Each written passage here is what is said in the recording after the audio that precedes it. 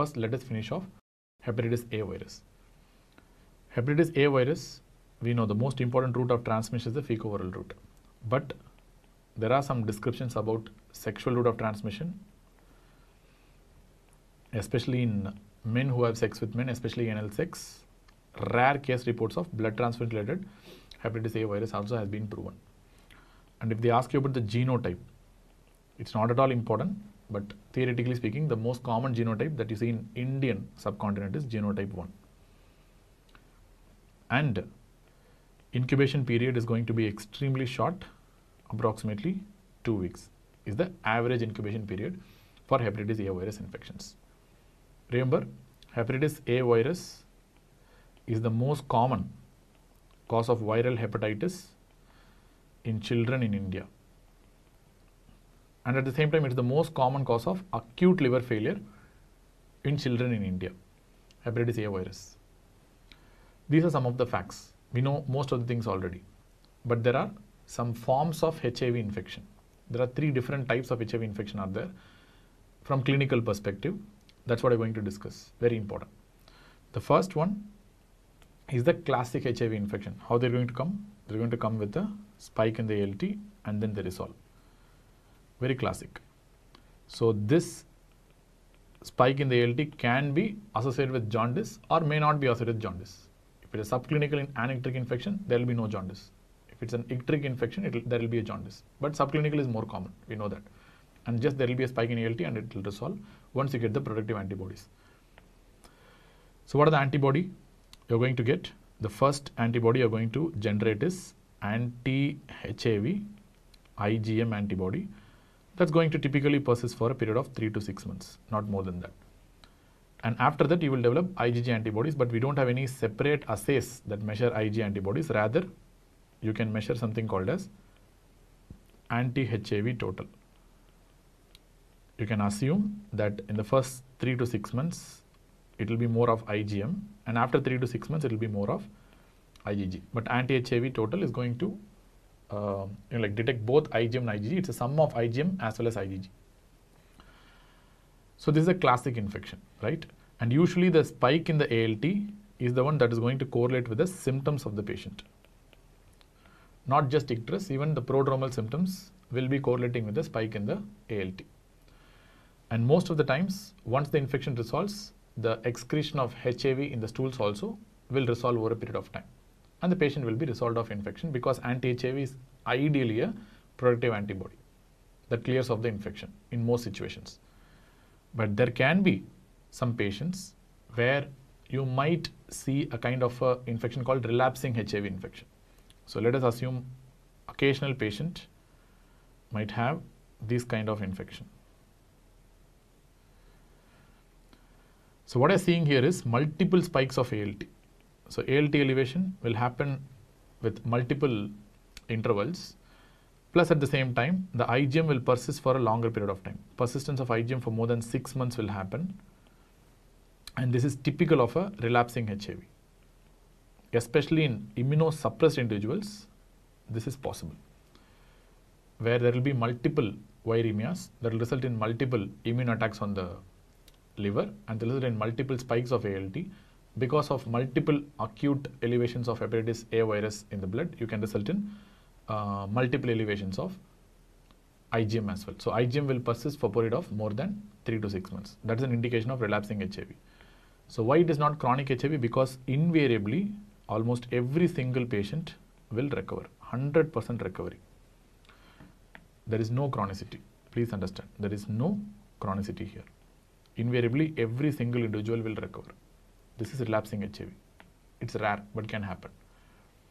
Next, third one. Third form of presentation is called as cholestatic HAV. Cholestatic hepatitis A virus infection, where there will be a predominantly cholestatic response. In the sense, these patients will have elevated ALT, all right, plus there will be a significant ALP elevation. Like usually it will be more than two times the upper limit of normal. This much will not be seen in a routine acute viral hepatitis, but in a cholestatic HAV, you can see a significant increase in ALP also. That tells you it's a cholestatic response and the bilirubin levels may be very, very high. It can reach levels more than 20 milligrams per deciliter. but this is not going to equate to liver failure unless and until you have signs of liver failure. So bilirubin elevation alone is not liver failure. Please understand. Why you have such a high level of bilirubin, most of them will be direct bilirubin. That is because of formation of delta fraction, and it takes very long time for eliminating this delta fraction. The elimination half-life of delta uh, fraction of bilirubin correlates with the half-life of albumin. We know that why. So this is typical cholestatic HAV and the patient will be jaundiced for quite a long time. It may take a long time for the bilirubin to come back to normal. Predominant cholestatic response. Three forms of hepatitis A virus infection. One is classic HAV, commonest. Second is relapsing form of HAV, common in immunosuppressed individuals. And third is cholestatic HAV. Plus, please understand there is no chronic infection. And how will you diagnose? As I told you, anti-HAV IgM is the way to go because this is the one that indicates acute infection. Remember, persistence beyond six months indicate relapsing HAV. But typically speaking, for all acute infections, anti-HAV IgM is the key antibody that we need to find for. And next is going to be the anti-HAV total. This is not that important because anti-HAV total can indicate either an acute infection or it could be a resolved infection. But overall, anti-HAV total is a marker of exposure. So where you are going to use anti-HAV total only in patients uh, who are supposed to have had hepatitis A virus infection in the past or probably when you are studying seroprevalence of hepatitis A virus in the community during that time anti-HAV total can be performed. So because if you are exposed to the virus, you are going to have some form of anti-HAV antibody and that's what is detected by anti-HAV total. So most important role of anti-HAV total is to understand the seroprevalence in the community. How many people have had infection in the past? And remember the seroprevalence of hepatitis A virus is directly proportional to the age. There is a study which says the older you grow, there is more chance of having had a hepatitis A virus infection, which means people aged more than 60 years, 60% of them will test positive for anti-HAV total antibody, which means they have had some form of HAV exposure in the past. Next, what is the period of infectivity? This is very important. How much time they are going to shed the virus in the stools or having virus in the blood. So typically, you can take the symptom onset as the median.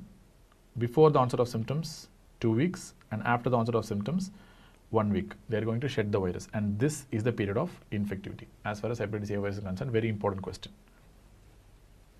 and next what about the treatment treatment is completely supportive even if the patient develops ALF the treatment is supportive only there is no specific antiviral drug that is dedicated for treatment of hepatitis A virus and whether you have prophylaxis or not you do have prophylaxis. You have pre-exposure prophylaxis as well as post-exposure prophylaxis for hepatitis A virus. What are the pre-exposure prophylaxis? So pre-exposure prophylaxis will be done in the form of vaccination. This vaccine is basically a inactivated vaccine. And you need to know the schedule of the vaccine it's going to comprise of two doses given 6 to 18 months apart. After the first dose, the second dose will be given 6 to 18 months apart. Remember, the dose should be halved. Half of the dose should be given if age is less than 19. Adolescent or younger population should receive only half dose, but the dosing schedule is two doses, 6 to 18 months apart. And as far as post-exposure prophylaxis is concerned, you can do it in the form of vaccine, which is better, and you have to give vaccine within two weeks of exposure. Or alternatively, you can use hepatitis A virus immunoglobulin also, which is available, as we have discussed in the virology. The dose of hepatitis A virus immunoglobulin is approximately 0.02 ml per kilogram intramuscular.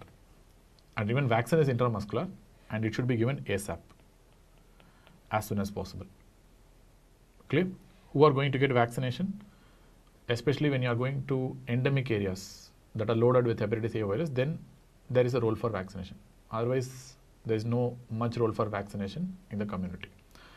In Western countries, HAV vaccine is readily available because when you are traveling to other countries like India or Africa where HAV is endemic, then probably you know like you can take a vaccine shot before traveling to these countries. But one of the best forms of post-exposure prophylaxis is also vaccine only, and it has to be given within two weeks of exposure. As I told you, the infectivity period ranges from two weeks before the onset of symptom to one week after the onset of symptom. But there are certain population like neonates and immunosuppressed individual who can actually shed the virus for months. And the longest that's uh, proven in a study is approximately 14 to 15 months. But overall, they can uh, excrete the virus in the stools for a longer period of time, especially the neonates who are exposed to the virus. Alright, so these are some of the important points with regards to hepatitis A virus infection. Subscribe and press the bell icon so you never miss an update from PrepLadder.